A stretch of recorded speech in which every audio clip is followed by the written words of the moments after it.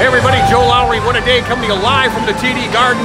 Bruins set to take on the Philadelphia Flyers in their last preseason game. They open up the season in Washington on Wednesday, just coming over from the Red Sox game. Looks like they're in trouble over there, but nonetheless, it's been a great doubleheader Saturday.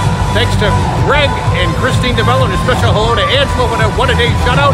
And don't forget, my breaking news tomorrow on What a Day regarding Chad Delay and Leoncello, and Sobo Warriors and Team Lion. I'm Joe Lowry. What a day!